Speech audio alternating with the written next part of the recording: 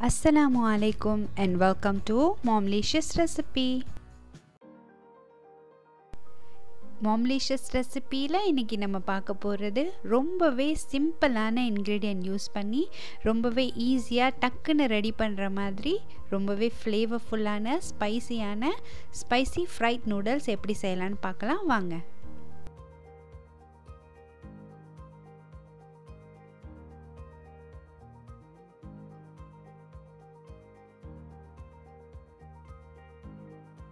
முதல்ல நூடுல்ஸ் வேக வைக்கிறதுக்காக தண்ணீர் கொதிக்க வச்சுருக்கேன்.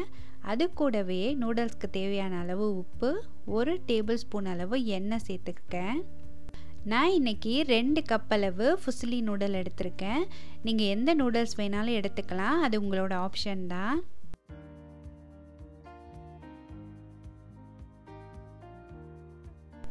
நூடுல்ஸ் நல்லா வெந்துருச்சு. இப்போ இந்த நூடுல்ஸை வடிகட்டி எடுத்து வச்சுக்கலாம்.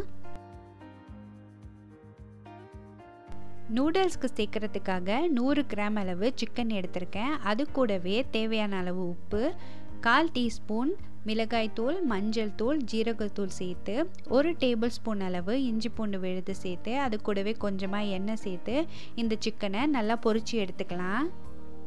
நான் டைரெக்டாக சிக்கனையும் மசாலாவையும் பேன்குள்ளே சேர்த்துட்டேன். நீங்கள் தனியாக மேரினேட் பண்ணிவிட்டு எண்ணெயில் பொறிச்சு எடுக்கிறனாலும் எடுத்துக்கலாம். இது ஆப்ஷனல் தான்.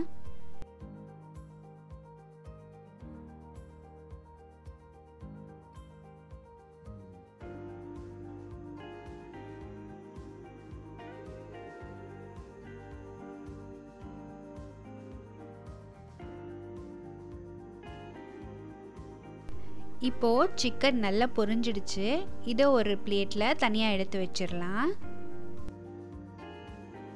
அடுத்தது அதே பேனில் கொஞ்சமாக எண்ணெய் சேர்த்து ரெண்டு முட்டையை நல்லா பீட் பண்ணி இந்த முட்டையும் நல்லா பொரித்து எடுத்துக்கலாம்.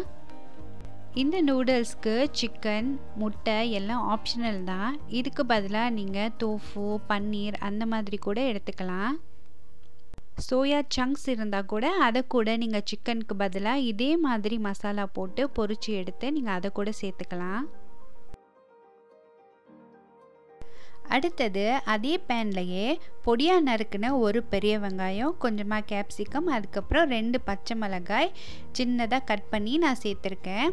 கொஞ்சமாக அதுக்கு தேவையான அளவு எண்ணெய் சேர்த்து இந்த வெங்காயம் கேப்சிகம்லாம் நல்லா வதங்கி வர்ற மாதிரி ஒரு அஞ்சு நிமிஷத்துக்கு குக் பண்ணிக்கலாம். வெங்காயம்லாம் ஓரளவு வதங்கி வந்ததுக்கப்புறமா நான் கேரட் சேர்த்துருக்கேன்.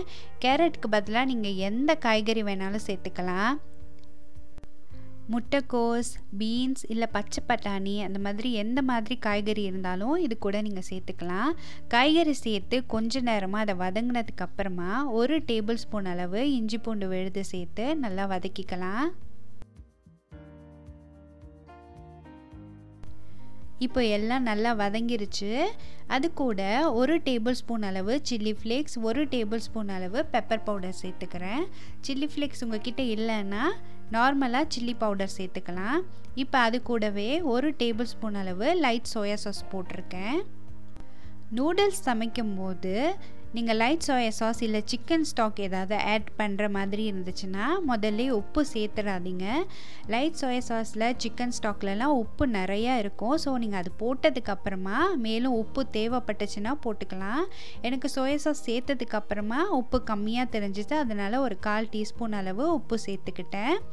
உப்பு சேர்த்துட்டு இப்போ நல்லா வதங்கினதுக்கப்புறமா நம்ம ஏற்கனவே வேக வச்சு எடுத்து வச்சுருக்க நூடுல்ஸை அது கூட சேர்த்து நல்லா மிக்ஸ் பண்ணி விட்டுடலாம்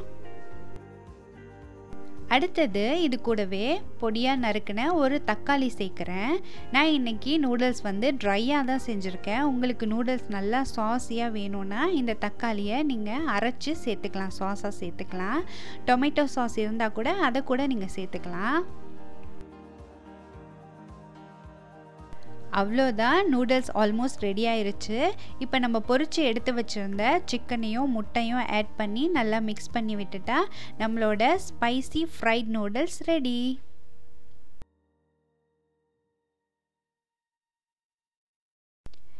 இந்த ஈஸி நூடுல் ப்ரிப்பேர் பண்ணுறதுக்கு ஸ்பெஷலாக எதுவும் சாஸோ இல்லை மசாலாவோ நீங்கள் தனியாக ரெடி பண்ணணும்னு அவசியம் இல்லை.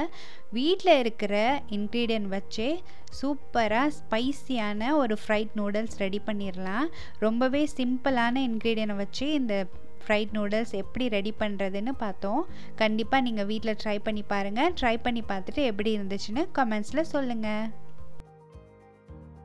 Thank you so much for watching my channel. Please like, share and subscribe to Momlicious Recipe.